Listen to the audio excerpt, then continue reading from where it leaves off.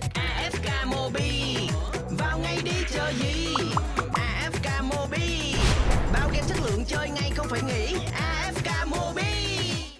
Theo thông tin AFK Mobi có được, thì tựa game SLG Đại Tần Chiến Quốc vừa cập bến thị trường Việt Nam dưới tay nhà phát hành Hồng Hà Game.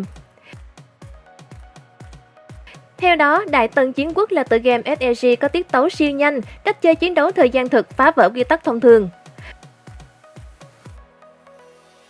Trò chơi được chuyển thể từ kiệt tác kinh điển Đại Tần Đế Quốc của nhà văn Tôn Hạo Huy và được phát triển bởi Tokado Game. Tham gia vào game, bạn sẽ không còn phải hành quân chậm chạp hay chiến đấu theo lượt. Diễn biến thực sự trên chiến trường chủ yếu phụ thuộc vào chiến thuật và thao tác của bạn. Mỗi bước đi của bạn đều có thể lật ngược tình thế, tạo cảm giác tham chiến cực kỳ chân thực. Đại Tần Chiến Quốc Mobile cho phép game thủ quay về thời chiến quốc, chiêu binh mãi mã, khai cơ lập nghiệp, cùng hàng triệu người chơi khác hợp ngang chia dọc, đại sát tứ phương trên sa bàn rộng lớn. Chiến trường chân thực trong game được đặt tiếp nối thời Xuân Thu, khởi đầu của Đại Tần, 500 năm trước thời kỳ Tam Quốc.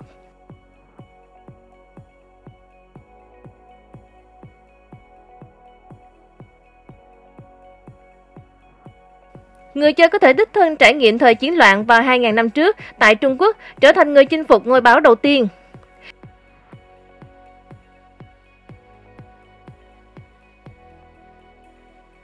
Khác với những game cùng loại, Đại Tần Chiến Quốc tái hiện chiến trường thực sự, bạn sẽ được điều binh phái tướng thời gian thực, hai quân đụng độ cứ gặp là đánh, không có chiến báo, bản đồ lớn thay đổi góc nhìn, thao tác thời gian thực, hành trình đầy biến số, tự do kiểm soát toàn cục trải nghiệm chiến lược đỉnh cao.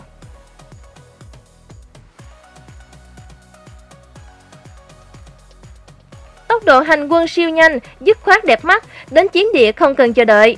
Chiến đấu trận nhỏ vị trí linh hoạt, tạm biệt lối chơi theo lượt nham chán hệ thống lính dự bị thân thiện. Chiến trường cũng có thể bổ sung linh lực, điều binh phái tướng. Thêm vào đó là hệ thống mùa giải tương đối ngắn, thêm nhiều cơ hội cho bạn xưng bá xuân thu chiến quốc.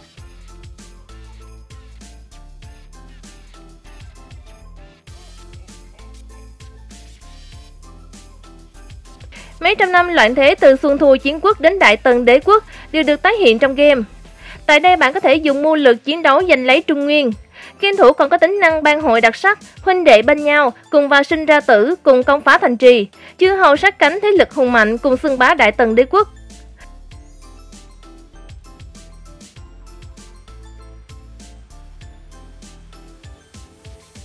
Hơn nữa, Đại tân Chiến Quốc tạo ra môi trường cạnh tranh lành mạnh, không so điểm số, không giành tài nguyên, không xem thuộc tính, phát triển tuyệt đối công bằng. Nói cách khác, tại đây bạn có thể dùng chiến thuật thỏa mãn mọi mục tiêu trên chiến trường mà không lo ngại vấn đề pay to win.